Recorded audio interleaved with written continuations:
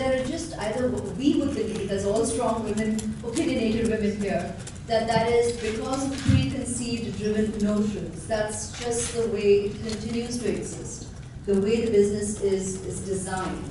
So coming down to the writing and the kind of content, when you feel it is riskier and stronger and uh, more interesting content from the women's perspective, it makes for more of uh, television viewing because you there's there's just the, the preconceived idea that that's the audience we're bringing in. There is more uh, uh, interested female audience. Uh, while you're, you were talking about uh, women who already are probably primary care, caregivers getting onto behind the camera, the perception is also those are the women who are the audience watching these shows. So these shows will go to television.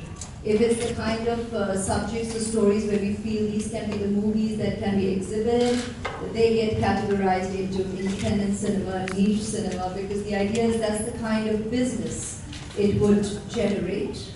And hence, the business would explain that's how they go about deciding on the pay scale for the female professional protagonist, the, I mean, we're, we're actors, so we speak from that perspective. You will speak from, from your area of business.